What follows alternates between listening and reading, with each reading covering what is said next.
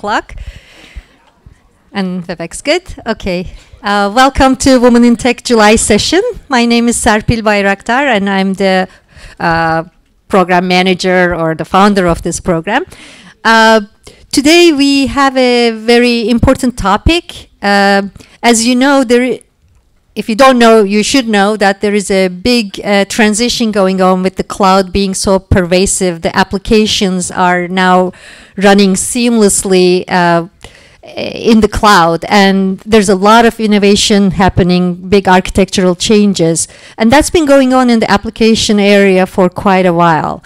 Now, with the networking, as you know, we have been talking about uh, NFV, which is the virtualization of the uh, network services. Um, and uh, we talked about in the past service chaining, which is how you put those uh, uh virtual services together.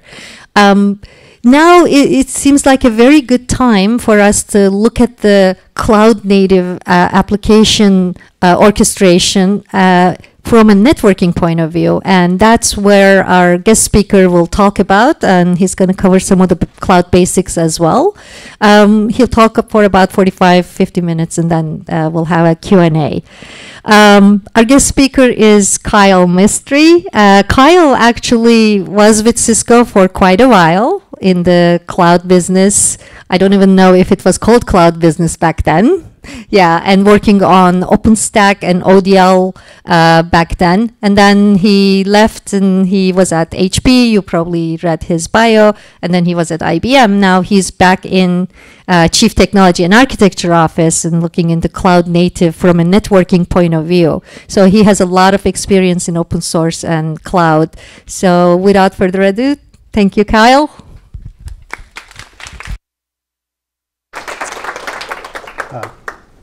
Hey, uh, good afternoon, everybody. So thank you for the warm welcome, Serpil. That was excellent. So yeah, so as Serpil said, uh, I'm pretty excited to be here to talk about cloud native uh, and how it relates to NFV and specifically how you know we're going to go about some of this in open source as well. So if the clicker works, which it did, look at that.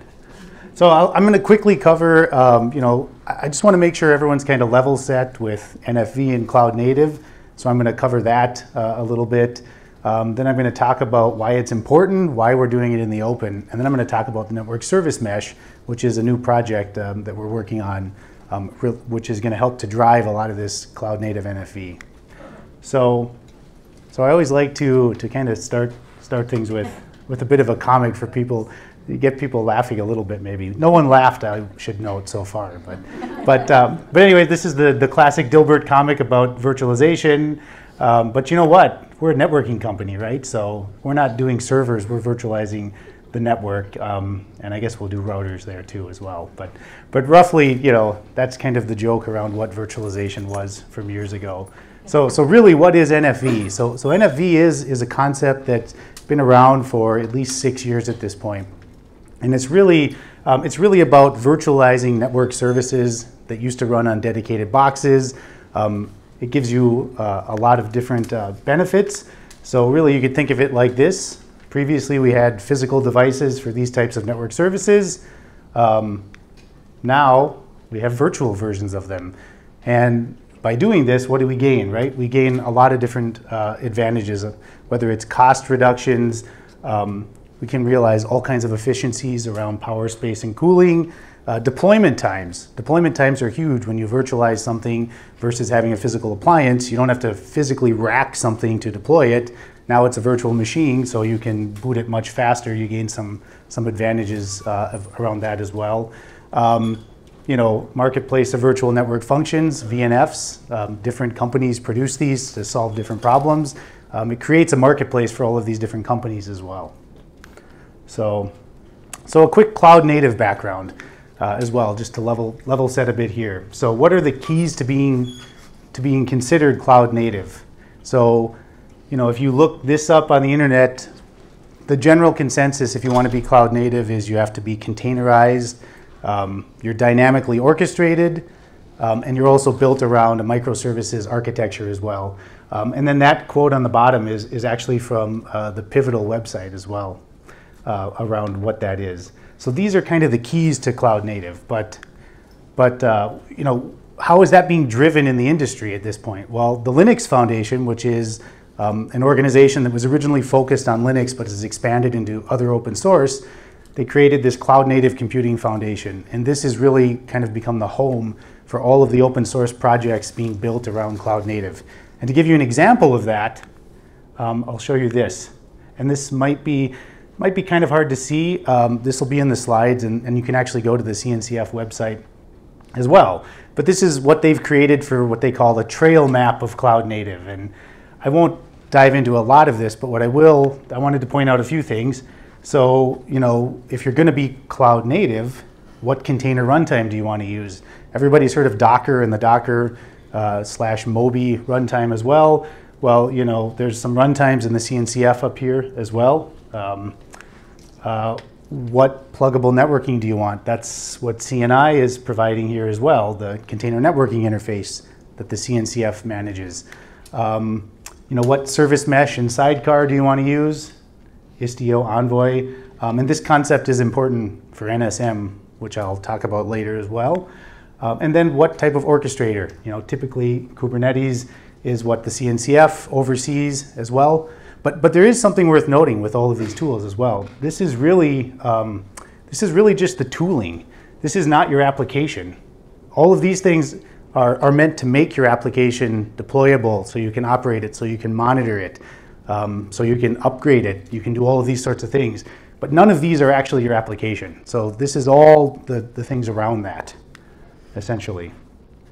Uh, this isn't even, you know, this is a nice eye chart, I think, actually. But, but I put this in here. This is, so the CNCF maintains this chart uh, in their GitHub page. And I put this up just to show you the vast number of projects across you know, everything from, I mean, I won't go through all of this. Obviously, we'd be here for easily 45 minutes, but, but there, there is a lot of projects in various states of, of being, you know, actual projects, incubating, graduated, all these different states as well.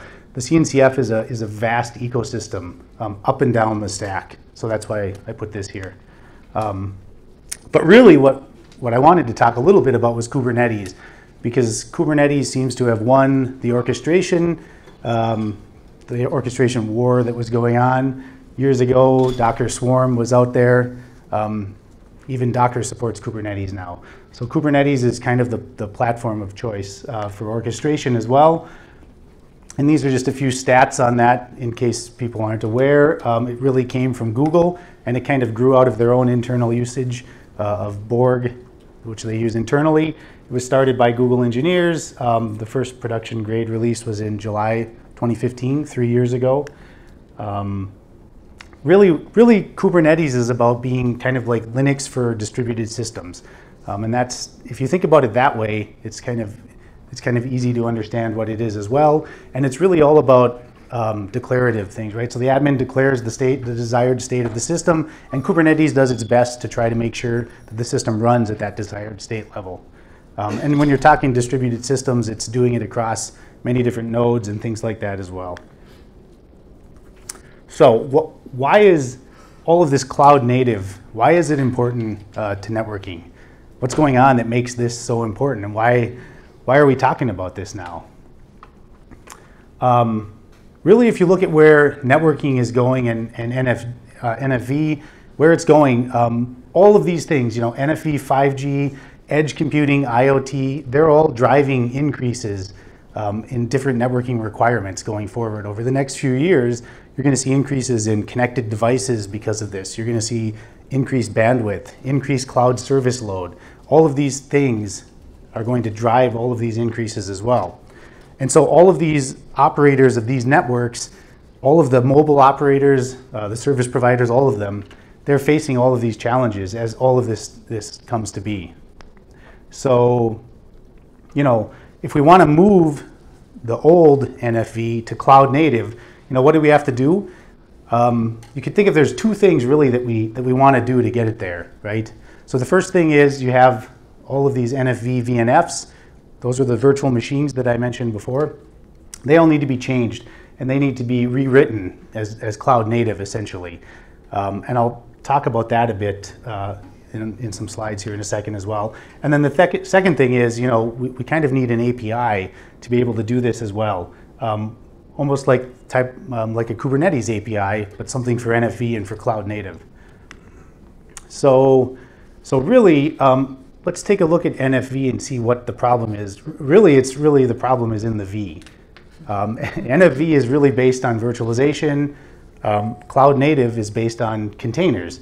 So really, we've got to move these VNFs, we've got to move it really to CNFs, container network functions. And this, this is definitely possible, but we have to be able to do that to, to get things to, to cloud native, to get NFV to cloud native. Um, really, we want to be able to take advantage of these, these technologies with, with NFV. Um, these are the things that are going to let us drive it towards um, you know, container network functions and really drive it towards container network virtualization uh, as well. Um, so there's another problem here, and I'll illustrate this in a bit, but this kind of shows it, right? There's this packaging overhead problem. Um, VNFs are great and the industry moved towards them, but the problem is you have to pack a lot of extra things inside of uh, a VNF to actually make it, uh, make the network function. If you're doing a virtual machine, you're packing a whole specification for that virtual machine. You're packing an operating system, all of the standard libraries. Uh, it becomes quite large. If you've ever tried to download some of these VNFs, they're, they're huge and they're not, they're not something you're going to pull down easily. Um, so, so how do we get there, right? So this, this is what I was just uh, talking about. Th this is typically what a VNF might look like with the virtual machine image, the operating system, the hardware, the application stack. Um, if you can move to a container network function, really you can get rid of those middle layers effectively. You end up with a container image and then your application running inside of it as well. And you're able to more effectively make that container network function be really about the application and the network function that it's going to provide. Um, so superior agility. So this is another advantage, I think, of what of what cloud native can bring to, to NFV as well. So there's, there's a nice little stick person here with a nice uh, mobile phone. I don't know, it's, it could be an iPhone, I don't know. But anyways, so this person is utilizing a brand new app that looks really awesome. Say, hey, this, this new app is spectacular. I love this app, but what is this app really doing? It's doing stuff in the cloud. So, so with, you know, so maybe this app is, is talking to a load balancer at first. That could be a container image. Maybe then it's going to a firewall. Maybe there's some, some DPI being done on it. And then finally, maybe we'll get to the application. And these could all be container images running in the cloud somewhere. Either doesn't matter if it's public or private. Um, and this works out great. So now the same person that was running that app says, hey, everyone else, all my friends, this app is great. So now this app kind of goes viral. Everyone else starts to look at it as well. So now you have more stick people with the app. so the nice thing about container network functions is maybe everyone gets their own copy of all of the network functions as CNFs rather than aggregating things over VNF images. So now everyone can have a container because they're really tiny. You're talking tens of megabytes instead of gigabytes. You can spin them up dynamically. They're just running the network functions for that app. So it's a pretty huge advantage, um, I think, for this. And this is really this is really where we want to go, and this is ultimately why we want to go there. This is one of the use cases. So, uh, ease of deployment. Um, this again goes into kind of what I was talking about before as well. If we look at this stack again, there's a lot of things here. And there's some questions that you might have if you look at this, right? You know, how does this work with my hypervisor? You know, because guess what? These virtual machine images, they might not be compatible across all the hypervisors. Or they might be compatible, but they might not be compatible across the different versions as well. Um, why does this take so long to boot? Has anyone booted one of these? Sometimes they take a long time to boot. Um, this looks like a pretty large attack surface too, doesn't it? And all of this in here, none of this is really related to your application. But you can bet that people writing malware are targeting that as well. Um, and then what happens if you want to upgrade? Do you have to upgrade the operating system in these? How would you know? Does your vendor know? Someone needs to know because that has to be upgraded as well. So you know, if you look back at this, the diagram that I had posted before uh, with the container image, you know, so this this this helps to solve some of these problems, I think, right? Because you end up with a standard image and a runtime format. If you think back to the CNCF slide, there are standard container runtime formats, so you can make the, you can make this run on a much wider variety of platforms that way. Um, there's a, it's much faster to boot. We don't have to boot an operating system. We don't have to run through a simulated BIOS to boot it, to, to set up hardware registers that aren't even there. There's all kinds of things we can optimize around just booting this container image versus the, the virtual one. Um, we don't have to upgrade the operating system layer. All of that middle layer in there that I talked about, that can all go away with these container uh, network functions as well. And um, you know, we can actually we can upgrade these much simpler, especially uh, by just you know loading new versions of them with a different version of the API as well. And then new users can point to the new API version. You can get rid of the old ones. So really, there's a lot of benefits to uh, to this approach. And really, we gotta we have to do this as an industry to move uh, NFV towards this. There. Okay. So so now I've talked a lot about, you know, why uh, cloud native is important, but, but why is it important to do it in the open as well? Um, and and uh, as Serpil said, you know, I've done a lot of open source work here at Cisco and HP and IBM as well. And, and I can tell you that, you know, it's all about, it's all about the platform. It really is all about the platform here. A lot of the service providers, um, they all want an open platform. They, they really do. And, and you know, the winning one, like it says up here, you know, is going to be something that anyone can build for, anyone can use, anyone can deploy to. Um, and really that core platform allows a lot of the operators and providers at least some level of assurance that, that there's, it's a level playing field, which is really what they want. And it really allows us to move the innovation into the CNFs, to be honest, as well. The platform can be, can be totally open source. The CNFs can be as well, but you can innovate in that area. Um, you can innovate there as well. So I, I thought it would be interesting to, to take a look maybe at the last approximately nine years or so of open source networking. Um, there's, there's been a lot of projects that have come out, and so I'll kind of walk through a little bit of these.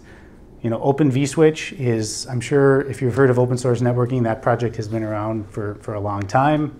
Um, OpenStack, OpenStack Neutron did a lot of networking, um, had a lot of projects built around it as well. Um, that's Ryu. Has anyone heard of Ryu? Anyone in the room? So Ryu was a Python Python-based uh, OVS controller that was an early SDN controller as well. Uh, DPDK from Intel that allowed us to move packet processing uh, out, out of the kernel and into user space. Um, Open Daylight, I know Cisco did a lot of work in Open Daylight amongst many other companies as well. Um, Onos, which was another open source SDN controller. Um, Faucet, has anyone heard of Faucet? That's another unique one. That's, that is like a, a Google project as well, another, yet another open source SDN controller. Um, we have OpenSwitch, which was an open source network operating system for, for merchant silicon based switches. Um, let's see, OpNFV, which was an attempt at open source NFV management. We have uh, FDIO, which is the home of VPP, uh, user space uh, packet processing. And then we have Envoy, which is a sidecar data plane proxy for service, uh, service meshes. Uh, PNDA, which is um, analytics. We have uh, ONAP. We have uh, Istio. We're almost done, I promise. We have Danos. and then we have, I had to put NSM. And, but the reason I wanted to highlight this was there's, there's been, and I didn't put everything up here. I tried to pick a, a variety across the, the across uh, these different layers. But there's a lot of open source networking innovation that's really happened over the last nine years, and it's almost accelerating. I mean, you can see more projects the closer to the to the current year that you get, um, and the and a lot of these a lot of these end up being being platforms as well. You know, Open vSwitch is used by a lot of things. Open Daylight was a platform. OpenStack. So the platform play is is important with with a lot of these uh, as well. But, but the industry definitely has embraced this. The Linux Foundation has embraced it. Service providers have embraced it. They're all members of the Linux Foundation. Um, AT&T actually were the, the people that, that open sourced uh, Danos. Um, so they're all kind of getting involved in this uh, as well. So, so yeah, so, so this, so you know, the platform has to be open source. Like I said, uh, the definitely the providers want it. Um, one thing that's worth noting is, you know, what's really appealing about about the open source for the operators is the fact that um, you end up with frequent releases. Um, a lot of these open source projects like Ubuntu, Fedora, OpenStack, Kubernetes, they release early, they release often, so you get a lot of releases.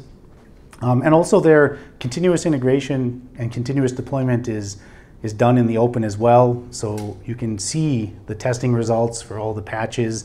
You can see the testing results for the releases. All of that is in the open as well. I think that's that's pretty important as well. Um, so let's see this. Oh yeah, this is. Oh, so open platforms are definitely built on open source, but but it takes it takes many different roles to make these open source projects successful. So one of the first role is a maintainer. Maintainer is not just provides code, but really maintains the code on GitHub or Gerrit or wherever it is. Maintainers check in code. Um, they will approve patches. They will review patches. They'll help to onboard new, new people submitting code. Maintainers are super important to a healthy open source ecosystem. Um, vendors are important as well. Um, vendors provide solutions wrapped around open source as well. A classic example that everyone is aware of is Red Hat. Red Hat provides a, a, lot of solutions and it's all built on open source. Everything they do is built on open source. Um, another role is, is an expert. An expert uh, provides support on the open source projects. If you've ever looked at an open source project or worked with one, you'll definitely run into experts in the community. They're usually the people that will uh, volunteer their time to help you or will be on the mailing list answering questions. Um, they'll write sometimes documentation or wiki pages. Um, so they will do that. Uh, the community itself also provides advice. Um, it's, it's part of the, a, a, healthy open source community. And then you have, we can't forget about the users. The users actually provide feedback on these open source projects. And so, so really all of this is what kind of creates a healthy open source community. And it's, it's worth noting that you can be multiple roles as well. You can be, uh, vendors obviously have maintainers, they have users, and vice versa. But really, for your open source project to be successful, these are, these are kind of the five roles that you really need. So now uh, I would like to talk a little bit about Network Service Mesh, which is a project that we just started uh, in April, late April, early May. Um, so, so fundamentally, uh, before we talk about Network Service Mesh, I, I just want to level set on what a network service is, right? So, so let's say we have two network services, A and B. Um, we're just going to send packets back and forth between them as well. Whoops, I got to go back. There we go. That's really it. That's all a network service is. I thought there was more. It's that simple. Just it's doing something with the packets. What's it doing? We don't know. It could be doing firewall. It could be doing load balancing. But something's happening. Packets are coming in. They're going out. Um, so realistically, when, when we looked at this again, um, you know, what are we doing with NFV, right? So, so NFV VNFs, they, they definitely want to be able to send and receive these payloads. Typically, they want to do this at layer two or layer three. Um, that's where they want to do it. They want to use things like Ethernet, IP, MPLS, VXLAN, these types of encapsulations. What you'll notice is, um, if you're familiar with like Istio, none of these things are are part of Istio. They're not even part of Kubernetes. If anyone's looked at the CNI, uh, for example, you're not going to see any of these words in, in there as well um, because it's focused higher up the stack, whereas NFV and container network functions, they're all, they want to focus down the stack more at a lower layer. So, so, so let's, let's take a look at what the abstractions would be for, for a network service mesh, what we have. So right here, we just have a, a, simple pod of containers in Kubernetes term, and a pod is multiple containers that operate as, as uh, providing one service. We have an interface to it as well. So now, there's only three core concepts in network service mesh in the project, and one of them actually is a network service as well.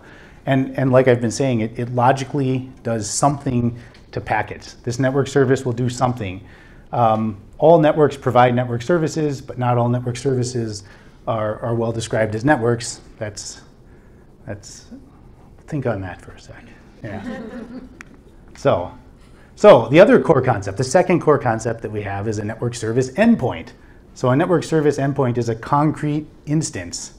It's actually the thing that you can connect to a network service. Um, it may be a pod, it might be something external. Um, you could see a network service could be its own pod, but it also could be an actual physical router. It could be a legacy VNF. It's just something that does packets, and the endpoint is what connects that. And the last concept we have for network service mesh is, is this connection. We used to call them channels. Sometimes if you look at the source repo, some of it still says channels. but really, really this, this channel is the tube into which you send and receive packets. That's all that it is. Um, these pods, they might see these channels as kernel interfaces. They could see them as vETH interfaces, memory interfaces. They could be, they could be anything like that, really. Um, it may involve tunnels. It, it, doesn't have to involve tunnels. It might. Um, but really, these are the three core concepts that make up the Network Service Mesh project. Network services, um, connections, and network service endpoints. And with this, we can actually build some, some pretty interesting um, applications for CNFs and abstract a lot of the networking complexity of what tunnels these are, the addressing in them, all of this sort of stuff, abstract all that away from, from the users who just want to get their pods connected to these network services. Um, this is another way to look at this. this, if you've looked at the Envoy project, you've seen a diagram that's similar to this. I think that, that that's where we got this, this diagram from. But really, this is showing the green, the green diagram or the green boxes are network services. And really, uh, the blue are the sidecar proxies that are going to provide the data path for a lot of this as well. Um, now we really go down and we can look at this, imagining what it is. So if you've looked at Kubernetes, um, the applications that you run, everything is done through, through a YAML file, which is what that looks like over there. So this is really, this is really an actual example of kind of what um, our sample YAML files will look like. Um, you can define a network service. It has an API version, has a bunch of metadata associated with it. It has some selectors which indicate uh, the channels right there as well. Um, so you can indicate what channels you are and what payloads those channels um, are providing as well. So that that's that's what that is. And like I said, this all of this actually exists in the GitHub repository at this point, which I'll have a pointer to at the end. But, but how do we, I guess what I'd like to show now is how does this all get connected and how does this work? So if we look at, at this where we have two pods of containers, perhaps uh, on the same node, and a node is a host. So how would this all, how would this all get connected together and actually work, right? Um, so you'd have an NSM, and the NSM um, itself is actually a daemon set, and a daemon set is something you define in Kubernetes you specify which nodes it, it's going to run on by, by what label you have the node set as. Typically, you'd run the NSM on every node, or at least every node that you want to provide network services. Um, so that's what you do there. So the network service endpoint would then expose its own channel, like I talked about before. So it'll say, I have this channel. I'm going to expose this. So the NSM itself uh, gets that registration. Um, the pod will then request a connection. So in the pods YAML file for the application that someone's running, they'll say, I actually need um, a channel of this, of this type. So then it'll go to the NSM to request that. Uh, the NSM will request that to the network service endpoint uh, connection as well. And that connection will then uh, either be accepted or not, depending upon if that network service endpoint can, can provide that. At that point, an interface will be created. So the NSM itself will create an interface because this isn't hooked up to anything yet, and this isn't either. It just has the Kubernetes interface. It doesn't have the data interface yet. So this will end up getting created at that point. Um, we'll inject that into the network service endpoint, whether it's a kernel interface, a memory interface, or whatever it is. So now the network service endpoint is connected as well. We'll go on the other side. Remember, this is all on one node, so this NSM has visibility to all of this. It can actually create the interface for the pod as well it can inject that into the pod um, at that point, and then it will cross-connect the interfaces locally um, and do whatever it needs to make it so that that pod and that network service endpoint can communicate. Um, then it'll accept that, that, that connection as well. Um, we actually have the majority of this code for the simple case pretty much working at this point, having just started working on this, but I know there's a lot there, but that's in, in a lot of detail how that would work. Um, and that's for the same node, right? And it should be noted that all of those connections are all just done over gRPC locally, um, just over local file descriptors. Kyle, can you give an example? Yes. Can you go back to that picture? Yes. Um, so node would be like a server, Node is a server. and then network service mesh manager is new. Correct. What would be the network service endpoint like? Like, is it a virtual router, virtual? That's a good question. So, so this the simplest example is that this network service endpoint could just be something that's going to create like um, simple VETH interfaces and then just cross connect them like is done here. It could be something that that programs a, a different virtual switch, whether it's in the kernel or it's a user space switch, or it could be something this network service endpoint that actually programs something external to the node, physical router, um, or, or maybe it's a VNF running on a hypervisor that's not a part of the Kubernetes cluster. So that's also new. Yes, yes. Yeah, these are, these are new. The, you know, the pod is obviously a pod, an application that someone's running. Network Service Manager, Network Service Endpoint, those are new. Yeah, So then NSE is really not the NFV function, like a virtual firewall or anything. It is just an interface acting to Right. the virtual firewall. So in the data path here, uh, how will, so basically the data path, you still need to redirect the data traffic to your virtual firewall, virtual router. exactly. Where It's- does that? So that, right, exactly, that could, right, so the question was, um, the network service endpoint is setting up the data path, but where is, where is it, you know, what's happening, where's the traffic going? In the simplest example, let's say that this is a programmable virtual switch, so the network service endpoint could just be programming that function down into the virtual switch. Um, for more complex things, you're right, it might just have to redirect the virtual switch to send the traffic out a different port to something that can then handle the traffic and send it back. Right. You're right, yep. So then there will be some more interfaces to the actual virtual firewall or actual network Yes. service functions.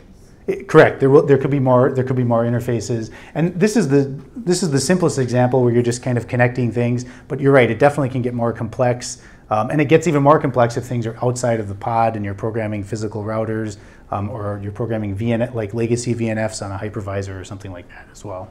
So, um, so I will. I wanted to walk through. So now this case is very similar to the last case. The main difference now is we have the NS, uh, the network service endpoint is on a different node. So now we're crossing nodes. Um, the setup for this looks very similar to the setup for the last one.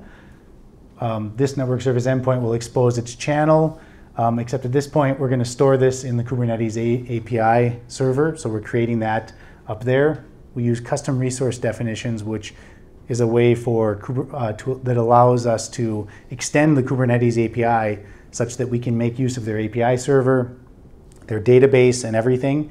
And all of the, the commands like um, kubectl and all of those things work normally. Um, so now the pod again will request a connection to its local NSM that's running on its own node. Um, that will go ahead and it will go up and it will select the network service endpoint it wants. Turns out it's on a different node, so it will send a request connection over to that network service manager. That will actually request at the endpoint. The endpoint will say, hey, I can handle this, so it will, it will actually accept that. It will go ahead, similar to before, it will create, create the, uh, the interface. It'll actually plumb that interface into the network service endpoint pod. Then it will actually, in this case, we have to go across nodes. So this example is showing, well, hey, we're going to create some sort of tunnel using whatever, um, whatever um, type, whether that's VXLAN or MPLS or whatever. We'll create this tunnel across. So now NSM2 will accept that over to NSM1, um, which means, hey, the NSM1 says, okay, this is good. So I can create an interface now. I can hook that into the pod. Um, and then at this point, I can actually complete that end of the tunnel and accept the connection again. So this, this example is a little more complex. Like you had the question about that. So in this example, we actually had to build a tunnel to, to get the packets across over there as well. Um, and the interesting thing is, when this was exposing its channel, it maybe just said, uh, I will advertise a channel with a payload type of VXLAN or something. So if the pod had requested, if the YAML file for that pod was a different tunnel type, then obviously this NS this NSE couldn't handle that. But but you could have multiple NSEs with those different tunnel types as well, depending upon where you want to send the traffic and things like that. So in real service provider use cases, uh, if wherever they have say segment routing or MPLS prevalent, you can establish those tunnels Right. specific to those environments. That's right. Yeah, the question was in service provider environments, uh, maybe where they have MPLS uh, is pretty prevalent, they can do that as well, right? They could create those tunnels and they could send that traffic into their existing infrastructure if they wanted, as an example. So. Um, yeah, so let's see. So now, oh, and then I had one more animation. So uh, it's worth noting that, like I said, this this network service mesh project is it's it's really brand new. There's we just started this late April, early May. Really, it wasn't until kind of late May, early June when we really started pushing code for this, and we've already we've got some folks from Red Hat, Cisco, Palo Alto, vArmour, um, TravelPing, and Packet as well um, that are helping us work on this as well. In fact, um, we just we just started talking with Packet.net because they, they Packet.net provides a bare metal cloud. They work with the CNCF and specifically the testing group and the CI group, their continuous integration group, around providing uh, resources to be able to do continuous integration testing. Um, because if you have not tried to run Minikube in Travis, then you definitely shouldn't. I'm going to say that's that's not fun, but it works. But it's it's tough. So this will give us more resources to test this as well, um, for sure. And so, so I kind of wanted to, to end this with almost a, a, call to action. If people are interested, right? I have to end it with a call for action, right? We've got to got to be inspired a bit, right? So this we definitely could use. Network Service Mesh really need you as well. It would be great uh, if anyone has an interest, if anyone wants to, to learn more about this. Um, you know, this is just a kind of a screencast of our GitHub page as well at this point. Um, but we, you know, but but we have a lot of documentation out there. Uh, I think some of this actually changed even since I took this picture, so it's been changing. But we have, you know, we have weekly meetings on Friday early in the morning. Uh, there's an IRC channel for those. How many people are familiar with IRC? Some people, yes. I like that. That's good. Yeah. We may have to get a Slack channel. How many people are familiar with Slack? Yeah, a lot more people. That's. I think we'll have to get a Slack channel at some point. Uh, we have a mail list as well. We have a use case document, and that's actually been huge. That use case document, um, I, I, didn't cover a lot of the other use cases. I just kind of picked the simple two, but there's a lot of use cases that are actually written in that use case document that are much more complex and go into a lot more detail as well. But that's what we're trying to drive uh, the code around is the use case document. Um, that's been super important, I think, for that. Uh, and then I also I put a link to, to a Kubernetes tutorial on here as well. Um, how many people have used Kubernetes? Is, there, is there some people in the audience? Yeah, that's good. That's excellent. For those that haven't, uh, there's you know there's a bunch of tutorials out there that'll get you up to speed really quick if you're interested in that as well. Um, what Kubernetes is. Yeah. What it is. Oh, well, yeah, and Kubernetes again is the orchestration platform as well that will orchestrate all of the, the containers. So, so yeah. WebEx Teams. WebEx Teams is, is our variant of Slack. That, that's right. There we go. That's right. That used to be called something else, right? Yeah, Spark. That's right, Spark. I knew that. Yeah. I know. There's there definitely is a lot of communication channels. So really, I, I know I, I hit the end of the slides a little bit early, but and I'd love to answer questions if you have questions um, or anything. Thank you.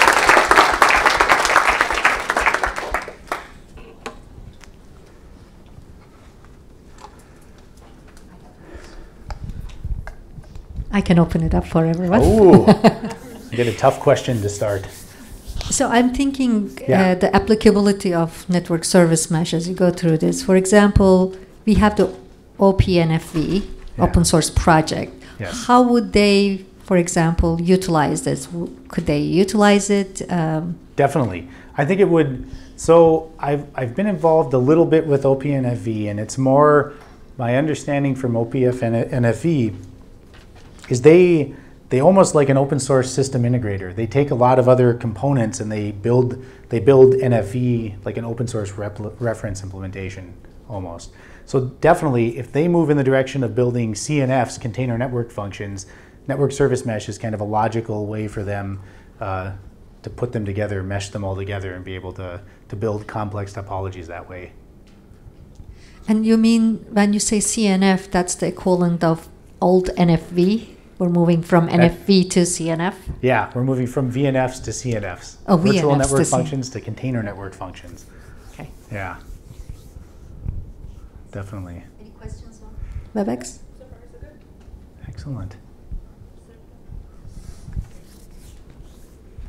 So, what Cisco products are already using this platform? Oh, th- there's nothing using it yet because it, it, it really is just brand new in the last few months. Um, so it's it's not even fully ready. Our, our goal is to get it. Uh, we're, we're trying to get it ready for KubeCon in December so that we can we can show it off and uh, at that point and, and really talk about it there. I think we're going to try to talk about it at um, the Open Networking Summit in Europe as well. Um, so that that's the goal. But we are working actually with uh, the cloud business unit and, and the folks working on uh, the Cisco container platform, CCP, as well, to get it integrated there. That, that would be a logical place for it.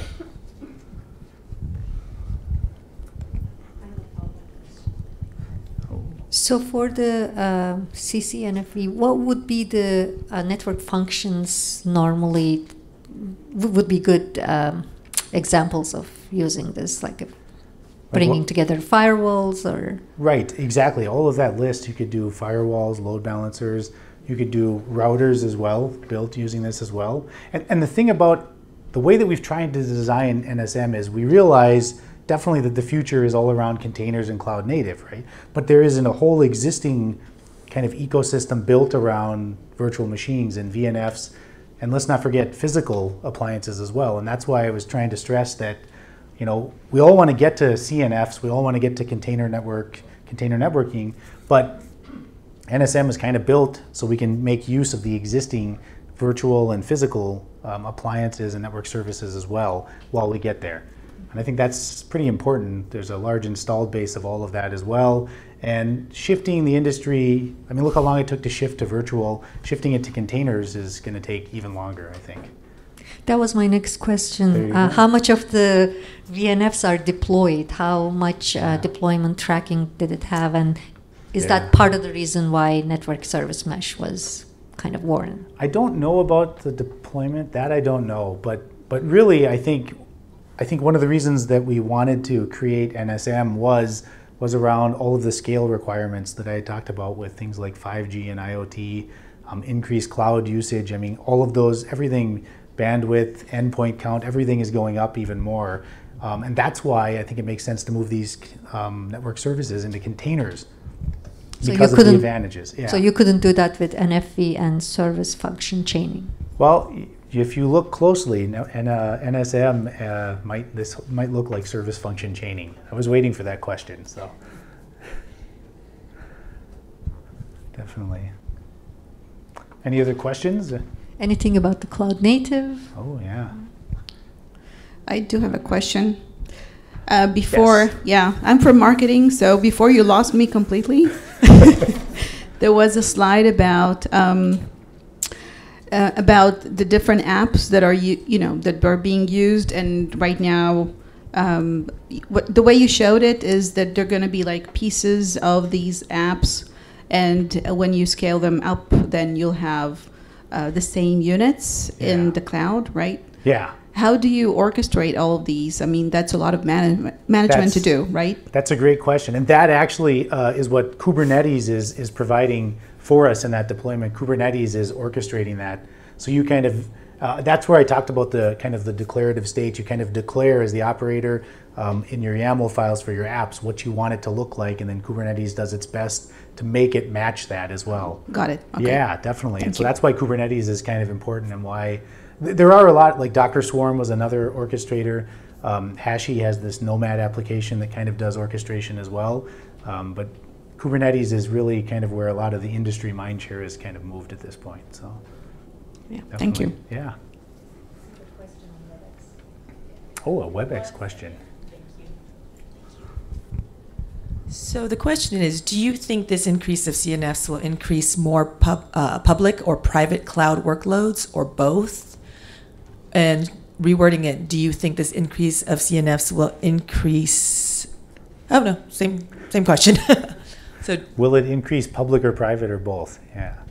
I, I really think it, it, it could be both. I mean, I mean, honestly, it's gonna it's gonna increase both public and private wherever you run it. Um, and really, that's the thing um, about the container platforms. You can run them public, you can run them in private. All the big clouds, uh, they all provide Kubernetes uh, platforms at this point. Amazon, Google, Microsoft, IBM, they all provide Kubernetes runtimes um, and that sort of abstraction. And then obviously on the private cloud side, I mean, you know, there's that's pretty prevalent as well. So I think it will increase no matter where you want to run it, you can do it that way. Yeah.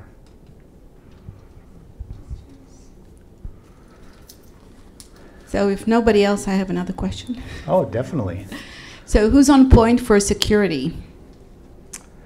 Uh, in the in just in general in NSM or or, or in in the new configuration, who's going to be Yeah. the, and also following up on the private versus public cloud, who's going to be, you know, the endpoint Yeah. or, Where is that? Well, I think a lot of, to some extent, what NSM can do, it, it, it almost allows the operators to provide security for those pods of applications because you can essentially build these meshes that include network services that might provide security functions in those as well. So I think if, if that's really one way to, to look at it is, is it's almost helping to provide that security for the operators as well. There's there's a whole I, I, I did not go through there's another slide deck we have that's kind of a almost a narrative introduction to what this is and it walks through that almost that example where the the user and it's like uh, the user in the story wants to run this pod of applications but connect back to her to her corporate uh, network. But the, the struggles she has to go through to get that pod to connect back with VPN concentrators and firewalls and all this, it becomes a challenge. And, and what we're hoping is NSM can abstract a lot of that away um, so that you can just put some things in your YAML file, it'll route the traffic to where it needs to go, and the operator or the corporate side can provide all that, that infrastructure underneath. thank you. Yeah, Maybe we can include that slide in the yeah, uh, deck in the. I'll put when I send out the survey, yeah, I can include that. definitely. So if we want to help uh, contribute to the um, open source, what would that engagement look like? Um, I mean, essentially, what we would do? Yeah, definitely. No, it's great. So I, I I did not have a slide on this, but I mean the first thing you think of when you think of open source is code contributions, and that's obviously a huge part of it. Um, but it's not the only part of it. And if you think back to the five-shaped figure I had up there, the, the pentagon about about that, really there's there's a lot of other things. Documentation is huge. Just using it and reporting issues. Um, there's all kinds of different contributions outside of uh, and around the code as well. Um, so definitely coming to the the meeting, signing up on the mailing list. Um, really, those are where we're we're at now. And then, like I said, we do have the IRC channel, though. Um, I will have to admit to Ed that we may need a Slack channel at some point, just as well. But but yeah, definitely. Maybe you had this question answered in that slide deck as well. So I was just thinking, um, how would say a service provider could use network service mesh Yeah. example? It's, can you talk through it or? Yeah, definitely. I think that one example, even that I had um, set up where, you know, with the users and the applications, um, and I, I could bring that back up, but, you know, the, the cloud where, you know, the user's application is a container, but then you have all those other things, DPI, firewalls, load balancers, and everything like that. Um, service providers could definitely use NSM to build that mesh of services. So when the application providers are running in the cloud somewhere, they can just hook up and send it over to that initial NSE, that network service endpoint that the service provider defines, and then from that point, it'll hit the mesh and it'll go through whatever the, the service provider has defined. That's the thinking, at least, hopefully. Excellent. Any other questions? Just wanted to get your thoughts on uh, since now in 5G and all the data data throughputs are increasing and we need low latency applications. So all this uh, virtualization or going the packets actually going up uh, to the kernel or touching the software Right. is making might make it more uh, prone to latencies and all right. And so, Right. uh, so what do you think it would be the right balance uh, with this versus having uh, customized hardware which do all the data processing on the data path, and you push the policies from the controller down to the to the uh, to the customized hardware, and then actually process the packet. uh, Definitely. So, so you're almost. Are you talking something like a smart NIC almost, or even doing it in the infrastructure, in- like in inside the the switch, or NPU, yeah. yeah, something the- like that. Well, definitely, and that's definitely possible as well. You could almost envision uh, a network service endpoint if you have that sort of capability in your ASIC, for example, um, either in a switch or a router. You can envision an NSE programming it in that hardware device um, and just redirecting the flows from the node to go down there as well. Um, so you could definitely see that as well. You could see something similar if you had smart NICs as well and you wanted to program things on the smart NICs as well. Um, or if you just want to do it um, in a typical kernel-based virtual switch or in a user space-based virtual switch, all of that. Um, I think that's actually like almost an operational trade-off as well. And then you start getting into things about, sure, you have these great big distributed apps and things are moving between them and that. But now you have to talk about where you're going to deploy those because if they're just scattered all across the data center, then that might not be optimal if your traffic is, you know, moving Yeah. through many switches and nodes to get there. So, um, and again, with Kubernetes, you should be able to kind of like push those together to maybe get them to run on a set of nodes um, using labels, for example, and, and selectors. So, Thank excellent. Thanks. So, uh, great, great overview, by the way. Thank you very much. Uh, my question is about service providers. As you mentioned, they've really jumped on the whole open source bandwagon, where they thought they could get wrest control from vendors like us uh, over the whole networking. But uh, many engineering years later, and millions and millions of dollars, they actually have little to show for it in terms of getting to real carrier class services where they get to. So this appears to simplify it a little bit relative to VNFs, the whole cumbersome OS and VMs and things like that. But it still, still, still seems to be very complex for them to go through the full integration process. So would welcome your thoughts on that and what Cisco is doing about it to alleviate the, some of Yeah. the pain that they're suffering. Yeah, definitely. So I think first of all, I think it's interesting you, you pointed out, you know, how the service providers have all jumped into open source and they were thinking that, but but I think um, they, they still they still do need, you know, vendors and other people to help them with that as well. You could almost think of it as the relationship between the vendors and the service providers um, and a lot of the operators um, just moved to include open source as part of that conversation and, and as part of that relationship, I think, as well. So now that's that's why we as vendors have to engage in open source um, just to be able to have the conversation with, I think, a lot of those those big operators and that. So that even if they may not be using it, it allows us to continue that conversation and, and be a part of that relationship as well, I think. Um, now, how does this help to simplify some of that for them? Uh, for that, you're going to have to go look at that use case document a little bit and see, because we do have some more complex use cases in there, but we would love to get more feedback on some of that as well. Um, yeah. Excellent. Oh, one behind you there. Yeah.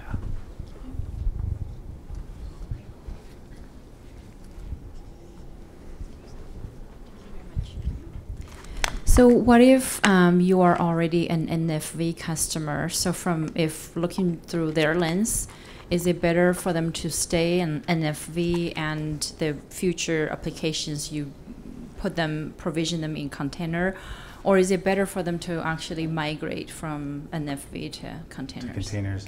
Yeah, that that's always a that's always a tough question. Is you know because there's always going to be a future in the technology industry. There's always something else that's that's coming out.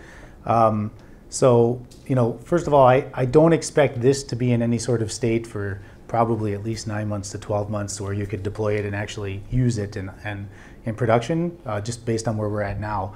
But, but I would say that, that we are trying to do our best to, to incorporate um, even VNFs and existing NFV applications um, by allowing uh, people to write network service endpoints that could incorporate that existing technology. So the hope would be you could make use of that existing um, deployment or investment that you have there, um, and then as vendors come out with CNFs or CNFs are, are become more available, maybe there's a marketplace of them, then you could also deploy those as well. Do you think there will be some sort of a resistance from the VNF community? There, there, there may be. I mean, there, you know, NFV faced some resistance, I think, early on as well. That's just kind of part of it as well, I think. But, but really, you know, as much as we can try to make it inclusive of all of that technology and move it forward, um, because the reality is, I think it's it's going to move that direction regardless. So, that's that's everything's moving cloud native nowadays. So, excellent. Oh yes. I, I want to pick up on, on, on that. It, it seems to me that uh, economics would win out, wouldn't it? Yeah. So was, isn't this going to be a far more economical solutions once once we've got to a stable and mature point? I mean, I think that's that's the that's the idea, right? Because that's that was the whole idea with virtualization was it could make it more economical. You can now instead of having one big server running one application, you can now put multiple applications on there as well. So containers almost take it even a step further, maybe going from tens of extra applications, now you can go to hundreds or thousands because they're just tiny little containers and they come and go. So I think you're right, economics will help drive that. And I would expect you should be able to get far greater performance than what they could out uh, with VNFs and all that extra packaging, right? Right, exactly, right. Because now you're not, you don't have that whole layer of the operating system, the virtual hardware, and everything like that running as well. It's just containers. So now the next question would be, where are you going to run those on bare metal or in a virtual machine, you know, in a hypervisor themselves? But that's that's a discussion for a different uh, talk, I think. so. Any other questions? Anything on WebEx? Okay, then. Thank you so much. Excellent. Pavel. Thank you. Thanks for making the time. Yeah. So, in thank you so much. And in August, we're going to have an entrepreneur come up and talk about how she started this really interesting camp for girls. It's a film camp for girls. Um, and then I just wanted to quickly say that in November, Women in Tech will be five years old. And we're going to have a party, and I hope you all come in.